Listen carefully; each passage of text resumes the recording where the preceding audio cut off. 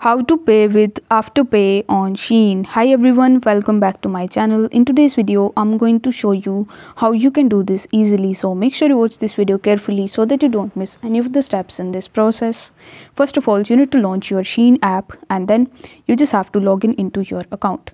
Now once you've successfully logged in, you are going to see a bunch of different products on the home page. So you will have to select the products uh, that you want to purchase. After selecting it, you will have to click on this cart tab in the bottom and then you will have to tap on this checkout button.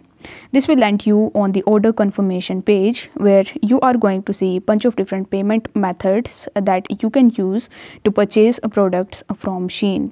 Now over here you are going to see this third option of buy now pay later and here you are going to see all of the buy now pay later services such as Klarna, Afterpay and Zip. So over here you need to select it and then you need to select the Afterpay option and then you will have to press confirm. Once done, Afterpay will be selected as your payment method.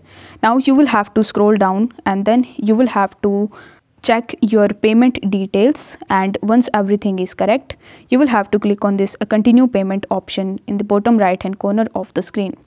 Once done, you will be redirected on the next page where if you have already downloaded your Afterpay application, then you will have to follow further on-screen instructions in order to conclude your payment.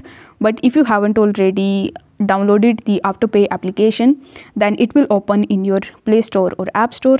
And from there, you first have to download the Afterpay app and then you will have to log in into your Afterpay account.